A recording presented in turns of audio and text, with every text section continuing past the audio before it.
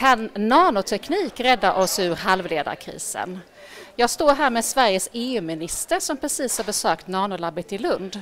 Hans Dahlgren, vad har du sett och lärt dig här inne? Jag har sett en väldigt fascinerande beskrivning av hur långt fram vi är i Sverige och här i Lund när det gäller forskning och utveckling av eh, de mest värdefulla tekniker som vi har just nu, nämligen att få fram eh, liten, så småskalig teknik att det handlar om tusentals, miljontals millimeter för att få fram halvledare men också andra eh, delar av den moderna tekniken som vi behöver i eh, vår vardag runt om i världen. Så att är det någonting som kan leda oss framåt så är det den här forskningen. Det har jag blivit övertygad om. Vad har du mer för tankar kring hur Sverige och EU kan liksom hitta en väg ut ur detta?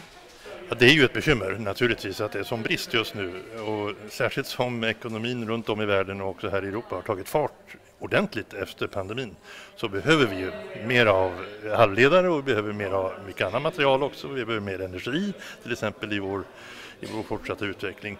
Jag tyck, tänker så här, just när det gäller halvledare så eh, det behövs ett väldigt nära samarbete tror jag mellan politiken, forskningen, företagen så att se till att vi får bästa möjliga förutsättningar för att utveckla vårt näringsliv på ett sätt som också tillgodoser de här väldigt starka behoven av mer av mikroprocessteknik om vi kallar det så.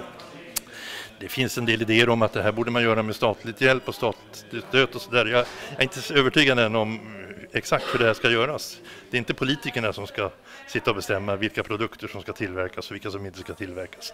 Men det kan finnas situationer när marknaden inte riktigt ställer upp eller klarar en stor utmaning. Det kan vara på klimatområdet och vi har ju till exempel det här batterialliansen som vi är medlemmar i som Sverige och som har lett till att vi har en stor produktion av batteriresurser uppe i, i norra Sverige. Det kanske är någonting också för halvledarna. Vi får se, vi ska titta noga på detta.